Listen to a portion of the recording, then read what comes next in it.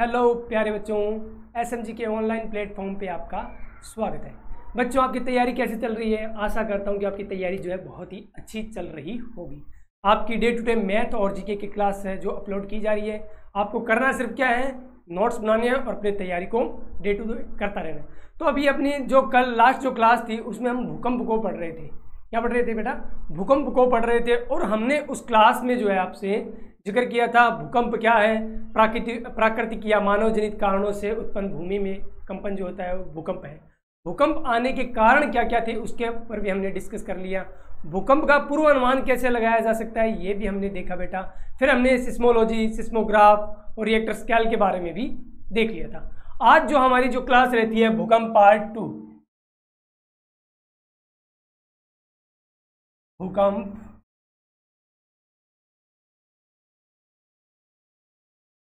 भाग सेकंड।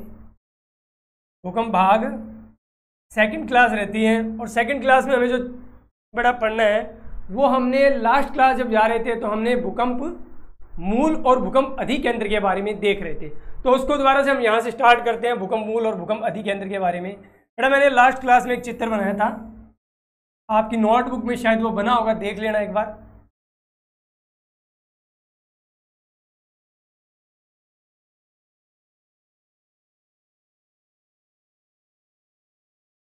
बड़ा भूकंप को पढ़ते हैं तो दो शब्द आते हैं अपने सामने, भूकंप मूल, जिसे हम फोकस भी बोल सकते हैं, और एक आता है भूकंप अधिकेंद्र। क्या बोलते हैं? अधिकेंद्र, जिसे हम बेटा बोल सकते हैं ईपी कैटर क्या बोल सकते हैं? ईपी कैटर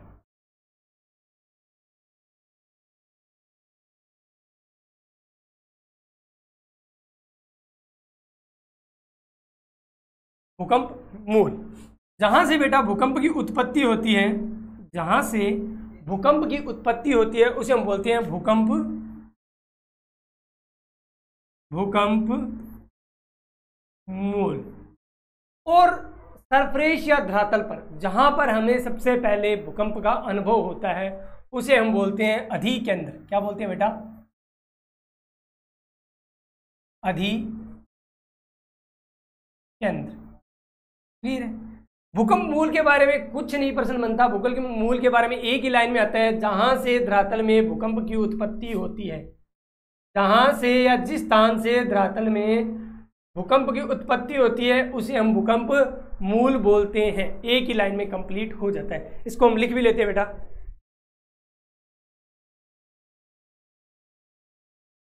भूकंप मूल। क्या लिखेंगे?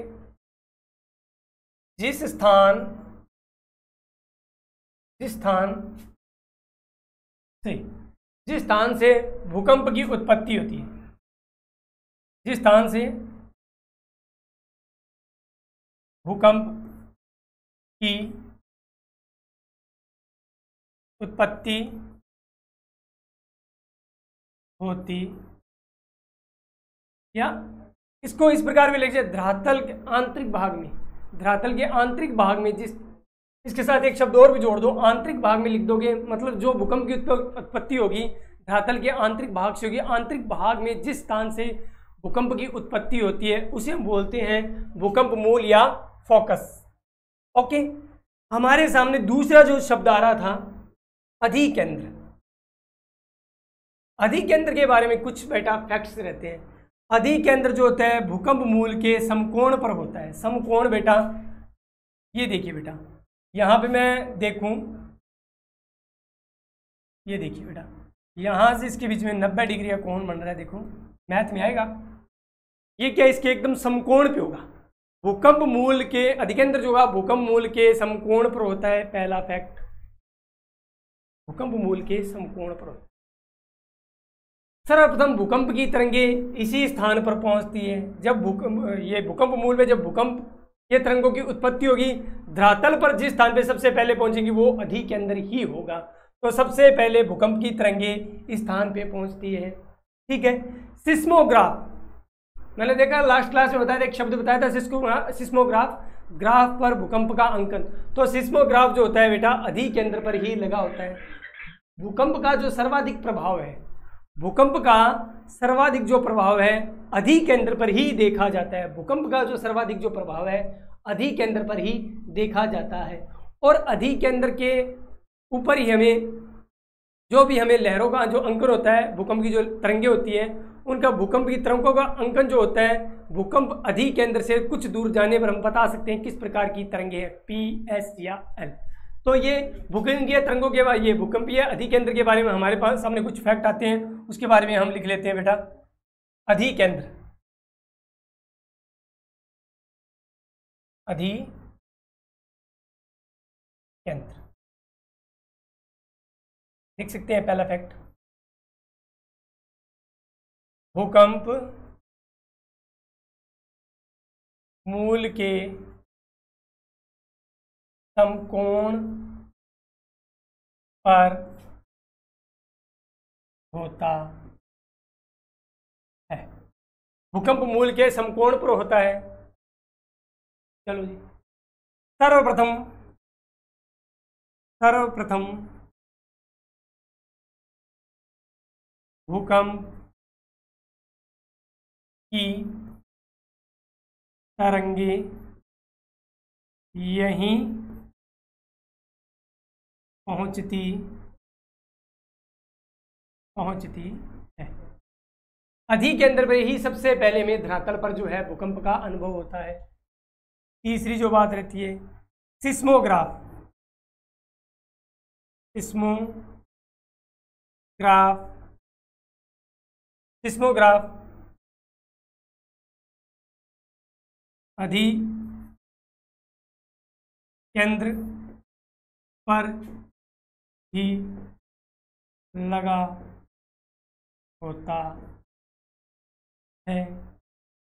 भूकंप का सर्वाधिक जो प्रभाव है, भूकंप का सर्वाधिक जो प्रभाव रहता है, इसी स्थान पे रहता है, कहाँ पे? अधिक केंद्र पे रहता है। अधिक केंद्र से जैसे जैसे हम दूर जाते जाएँगे, जो भूकंप की जो बेटा तीव्रता होती है, स्पीड होती है, वो धीरे धीरे कम होने लग जाती है। तो भूकंप का भूकंप का सर्वाधिक प्रभाव। यही होता है। यही होता है।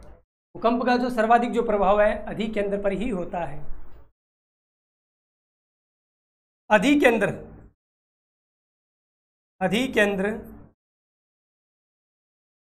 पर भूकंप अधिक केंद्र पर अधिक केंद्र से लिखो बेटा अधिक केंद्र से कुछ दूर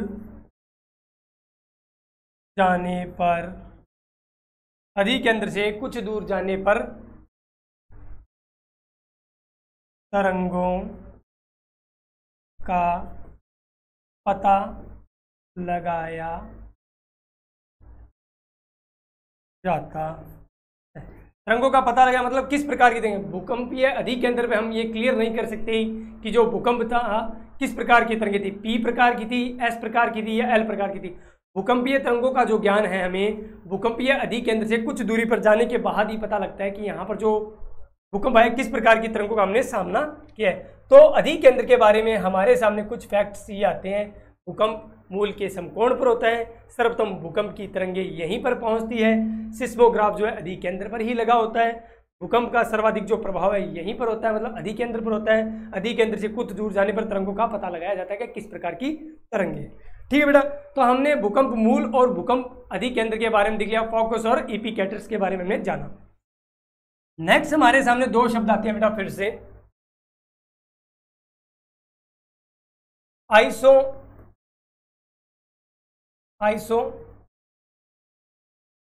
isoseismal. और सेकंड जो शब्द आता है बेटा, होमो, सिस, होमो, सिस्मल।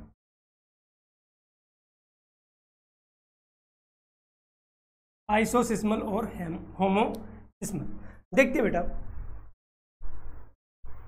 मान लीजिए ये पृथ्वी पर कुछ स्थान है। एक, दो, तीन, चार। जो जो राउंड कर रहा हूँ, हमारे धरातल या पृथ्वी या अर्थ के ऊपर कुछ स्थान है। ये जो पाँच मैंने पॉइंट बनाए हैं, पाँचों स्थानों पर भूकंप आए हैं। ठीक है? यहाँ पे भूकंप की जो तीव्रता नापने वाला जो यंत्र था, हमने नाम दिया था रिएक्टर स्केल नाम दिया था लास्ट क्लास में? रिक्टर स्केल नाम दिया था? इसकी मदद से देखा जाता कि भूकंप की जो तीव्रता थी, कितनी थी। ठीक है, मान लीजिए ये पॉइंट्स दे देता हूँ मैं पॉइंट्स के नाम देता हूँ point A point B point C point D point E ये कुछ पॉइंट्स हैं। मान लीजिए यहाँ पर जो भूकंप की तीव्रता थी रिएक्टर स्केल के माध्यम से मैं पता लगाया कि यहाँ पर जो भूकंप की तीव्रता है, पाँच पॉइंट पाँच रिएक्टर की तीव्रता थी। यहाँ पर पाँच पॉइंट पाँच रिएक्टर की तीव्रता थी। यहाँ पर भी पाँच पॉइंट पाँच पाँच पॉइंट पाँच पाँच पॉइंट पाँच रिएक्टर की तीव्रता है। यहाँ पर भी पाँच पॉइंट पाँच रिएक्टर की तीव्रता है। तो हमने देखा, यहाँ पर देख लेते हैं हमने, पाँच पॉइंट तीन ये दो पॉइंट पाँच। इस प्रकार हमने रिएक्टर स्केल से पाँच जगहों का अंकन किया कि ये पाँच जगहों पे जो भूकंप की तीव्रता है वो अलग अलग है। तो हमने जो पहला शब्द लिया था आइसोसिस्मल आइसोसिस्मल शब्द से मतलब होता है, वो उन स्थानों को मिलाता है जहाँ पर भूकंप की तीव्रता समान हो। समान भूकंपीय तीव्रता वाले स्थानों को मिलाने वाली रेखा। जैसे समान भूकंपीय तीव्रता वाले स्थान जैसे ए सी और ई यहाँ की जो भूकंपीय तीव्रता है बेटा, समान है। क्या है? भूकंप की तीव्रता समान है, पाँच पॉइंट पाँच रिएक्टर पाँच पॉइंट पाँच रिएक्टर और पाँच पॉइंट पाँच रिएक्टर जबकि बी पॉइंट पे हमने पाँच पॉइंट तीन और डी पर हमने दो पॉइंट पाँच रिएक्टर स्केल जो है, तीव्रतांकन किए। तो जो आइसो सिस्मल शब्द होता है, उसका अर्थ है समान तीव्रता वाले स्थानों को मिलाने वाली रेखा। हम एक सीधी रेखा हम इसको डिनोट कर सकते हैं। या ये देखो, ये बोल सकते हैं कि ये पा, ये जो है आइसोसिस्मल का अर्थ होता है समान भूकंपीय तीव्रता वाले स्थानों को मिलाने वाली रेखा। क्या बोल सकते हैं?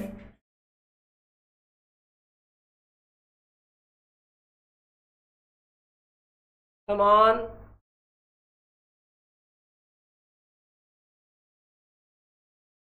तीव्रता वाले स्थानों को मिलाने वाली रेखा। समान तीव्रता वाले स्थानों को आइसोसिस्मल से यदि आपको याद रखना है, समान तीव्रता वाले स्थानों को। जो भी है, जहाँ पर समान तीव्रता के मतलब एक समान तीव्रता के जो भूकंप आएँगे उन स्थानों को मिलाने वाली रेखा को हम क्या बोलते हैं? आइसोसिस्मल समान तीव्रता वाले स्थानों को मिलाने वाली रेखा को हम क्या बोलेंगे बेटा? आइसोसिस्मल चलो जी, बात करते हैं दोबारा से इसकी। तीव्रता तो हमने देख ली।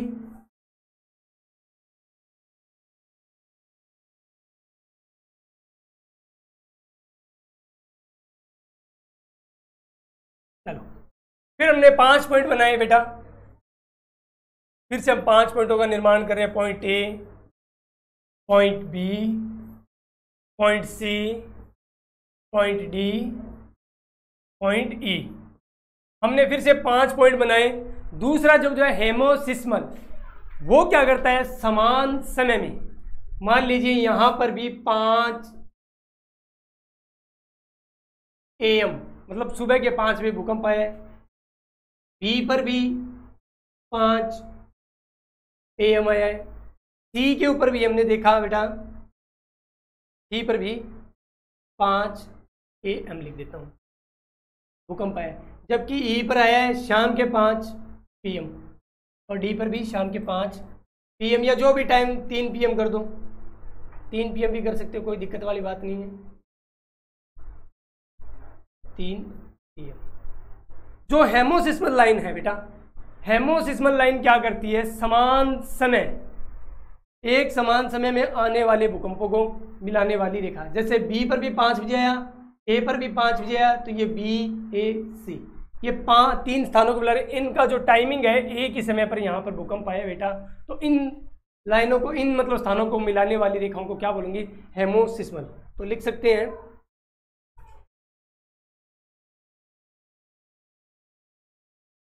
एक ही समय में आने वाले भूकंपों। एक ही समय, एक ही समय में आने वाले भूकंपों। भूकंप। एक ही समय में आने वाले भूकंप स्थानों को मिलाने वाले का। एक ही समय में आने वाले भूकंप। एक ही समय में आने वाले वाले स्थानों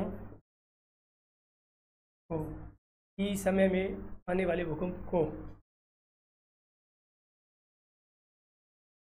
भूकंप को स्थानों को मिलाने वाली रेखा।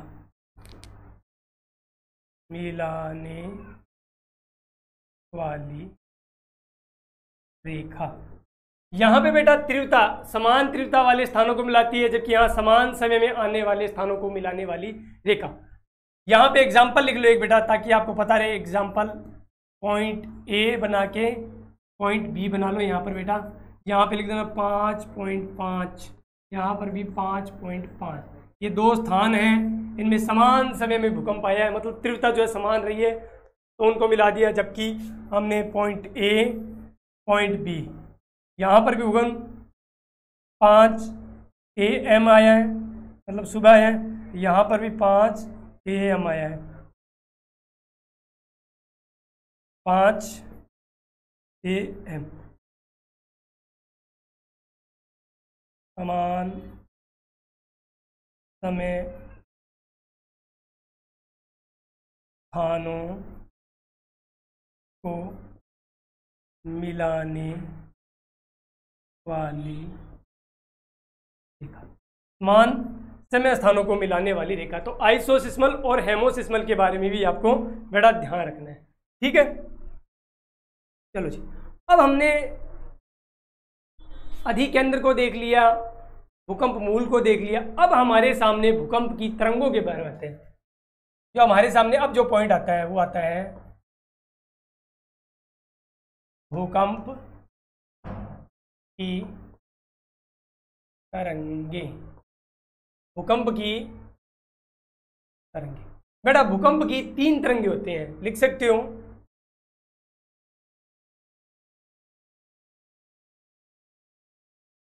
भूकंप की तीन तरंगे कौन कौन सी बेटा? देखेंगे।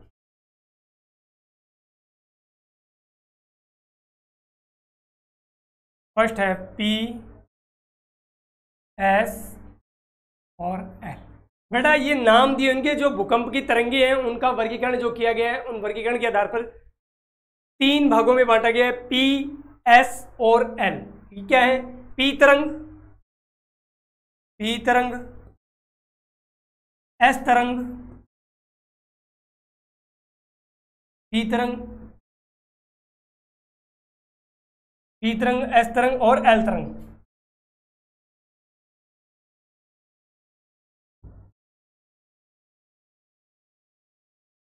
पी तरंग, एस तरंग और एल तरंग।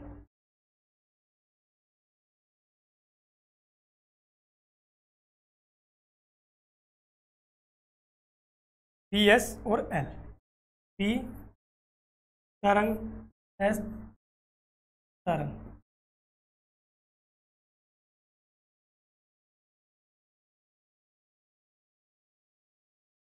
पी एस एल बेटा पी और एस जो तरंग होती है, उसको हम बोल सकते हैं भूगर्भिक तरंग। भू गर्भिक तरंग। क्या बोल सकते हैं? भूगर्भिक तरंग। जबकि एल जो तरंग होती है बेटा, उसको हम बोलते हैं धरातलीय। धरातलीय तो सबसे पहले हमें यही पता होना चाहिए कि बेटा, भूकंप की तरंगे कितनी है? तीन कौन कौन सी है? पी एस और एल अब इनका बेटा वर्क क्या रहता है, वो भी हमें थोड़ा पता होना चाहिए। स्पीड क्या रहती है, ये किस प्रकार चलती है, इनकी दो दो बातें तीन तीन बातें हमें पता होनी चाहिए, कैसे क्या रखते हैं। एक इंडेक्स के रूप में देख लेते हैं बेटा। पी एस और एल पी एस और एल तरंग हम देख लिए इंडेक्स से देख लेते हैं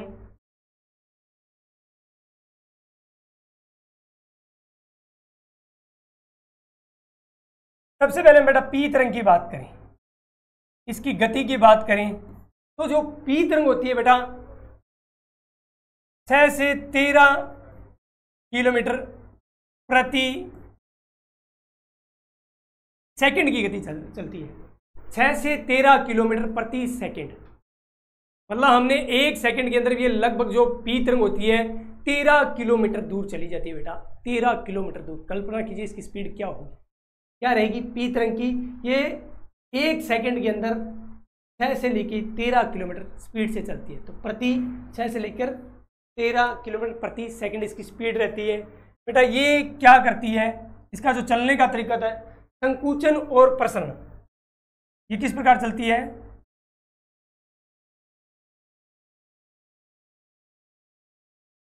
संकुचन व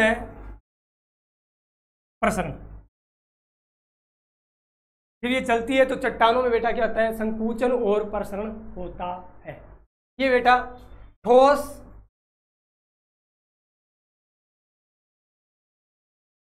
तरल और गैस तीनों भागों में चल सकती है। ये ठोस में भी चलती है बेटा, तरल में भी चलती है और गैसीय भाग में भी चलती है। जबकि हम एस तरंग की बात करें तो इसकी जो गति होती है चार से लेके सात किलोमीटर प्रति सेकेंड। ठीक है? ये जब चलती है तो गर्त और उत्थान। जब ये एस जो तरंग चलेगी तो चट्टानों में गर्त और उत्थान होगा। ये बेटा केवल ठोस में ही चल सकती है। ठोस में चलती ये बेटा केवल ठोस ये भाग में ही चलती है। ये तरल और गैस में नहीं चल सकती। तरल और गैस ये भाग होगा तो ये जो तरंग है, लुप्त हो जाती है या विलुप्त हो जाती है। बात करते हैं एल तरंग की। इसकी जो गति होती है, तीन किलोमीटर प्रति सेकंड की गति से चलती है। इसके लिए जो लाइन आती है, सर्वाधिक जो नुकसान होता है बेटा, सर्वाधिक जब भूकंप आते हैं और सर्वाधिक जब नुकसान होता है तो कौन सी तरंग के माध्यम से होता है? एल तरंग के माध्यम से सर्वाधिक नुकसान होता है। सर्वाधिक नुकसान नुकसान, एल तरंग, सर्वाधिक जो नुकसान होता है, कौन सी तरंग से होता है? अल तरंग से होता है। ये बेटा धरातल व। सागरीय दोनों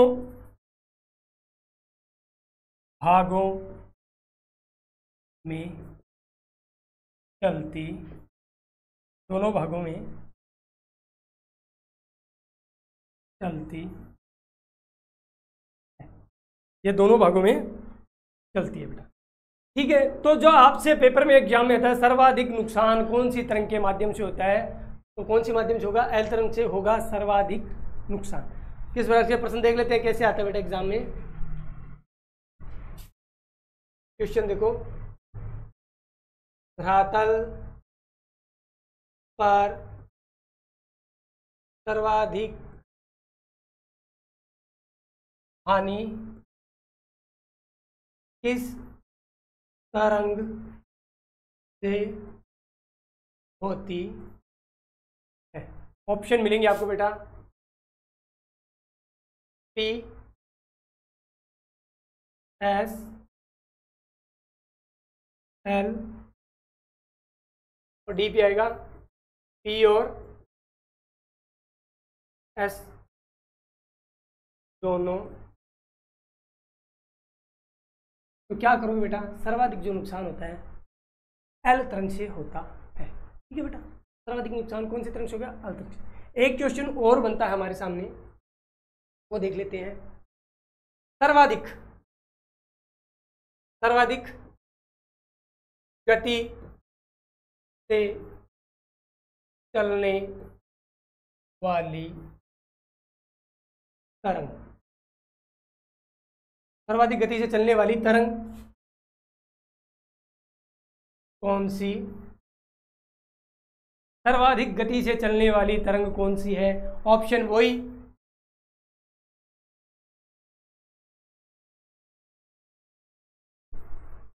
पी एस एल एल व एस तो क्या आंसर रहता है?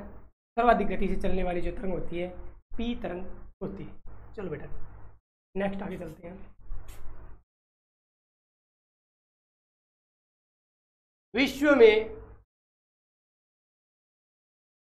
सर्वाधिक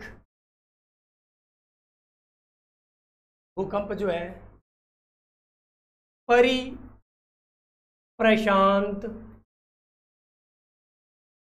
मेखला में आते विश्व में बेटा सर्वाधिक जो भूकंप है, लगभग संपूर्ण वर्ल्ड के जो है, तिरसठ तिरसठ परसेंट जो भूकंप है सिक्सटी थ्री परसेंट जो भूकंप आएँगे बेटा प्री प्रशांत मेखला में ये भूकंप आते हैं। यदि हम देशों की बात करें, सर्वाधिक सर्वाधिक भूकंप जापान में आते हैं बेटा। सर्वाधिक जो भूकंप है, कौन से देश में आते हैं? जापान में आते हैं। सर्वाधिक जो भूकंप है, जापान में आते हैं। कहते हैं, जापान में प्रतिदिन एक भूकंप का झटका महसूस हो जाता है और उसकी गति जो है, बहुत कम रहती है। ठीक है? प्रतिदिन एक भूकंप। और जब जापान में जो है, मकान वगैरह, घर वगैरह बनाए जाते हैं तो वो भूकंपीय दृष्टि से ही उनका निर्माण किया जा रहा है। एक बेटा आता है शब्द, नियात। नियात। भूकंप। नियात भूकंप कब आते हैं खनन क्षेत्रों में। खनन क्षेत्रों में विस्फोट स्पॉट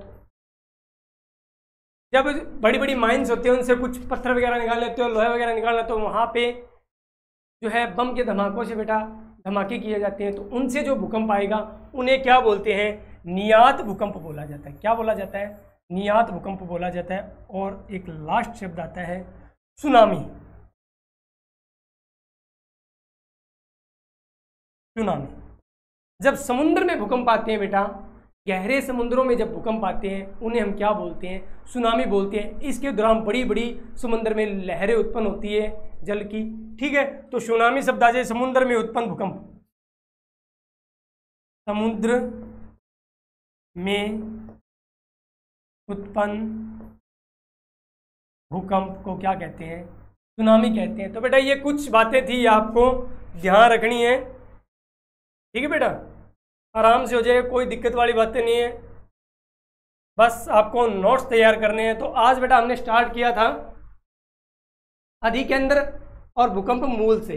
हमने देखा था भूकंप मूल जिस स्थान या धरातल में जिस स्थान से भूकंप की उत्पत्ति होती है, हम क्या बोलते इसे? भूकंप मूल कहते हैं। अधिकेंद्र अधिकेंद्र क्या है बेटा? भूकंप मूल के समकोण पर अधिकेंद्र होता है। सर्वप्रथम जो भूकंप है, यहीं पर आता है। सिस्मोग्राफ जो है अधिक केंद्र पर ही लगा होता है। सर्वाधिक प्रभाव जो भूकंप का है अधिक केंद्र पर ही होता है। अधिक केंद्र से कुछ दूर जाने पे हमें पता लगता है किस प्रकार की तरंग, पी तरंग है, एस तरंग है या एल तरंग है। आइसोसिस्मल समान तीव्रता वाले स्थानों को मिलाने वाली। मतलब स्पीड जो एक समान होगी भूकंप की, उन स्थानों को मिलाते हैं, उनको बोलते हैं आइसोसिस्मल और जबकि हेमोसिस्मल किसे बोलते हैं?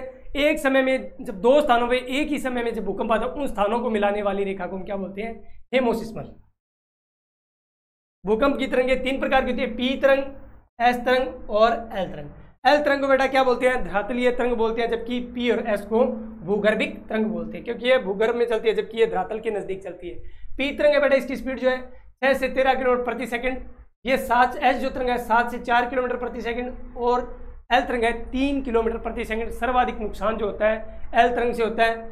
ये जो ठोस, जो एस तरंग है, केवल ठोस में चलती है, जबकि पी तरंग है वह ठोस तरल और गैस तीनों में ही चलती है। देख लेना बेटा, एक बार पी तरंग जो बेटा आती है, इस प्रकार से चलती है। ठीक है? एस तरंग जो चलती है, वो इस हिसाब से चलेगी। और लास्ट जो एल तरंग है, इसका एक डायग्राम होता है, इस हिसाब से ये चलने का क्रम होता है। प्रश्न देखे थे सर्वाधिक जो भूकंप है, जापान में आते हैं परि प्रशांत में मेखला जो है, विश्व के सर्वाधिक भूकंप आएँगे। नियाद भूकंप खनन क्षेत्र में आते हैं और सुनामी समुद्र में आने वाले भूकंपों को कहते हैं। तो इसके साथ बेटा हमने आज भूकंप चैप्टर को कंप्लीट कर लिया आपका काम क्या रहता है? आपको सिर्फ़ नोट्स बनाने हैं, तैयारी करनी है और अपने एग्ज़ाम की जो प्रिपरेशन है, बहुत बढ़िया से करनी है। क्लास को शेयर करना है, सब्सक्राइब करना है और तैयारी करते रहना है। हँसते रहिए, मुस्कुराते रहिए। फिर नेक्स्ट वीडियो में नए टॉपिक के साथ मिलते हैं। जय हिंद, जय भारत।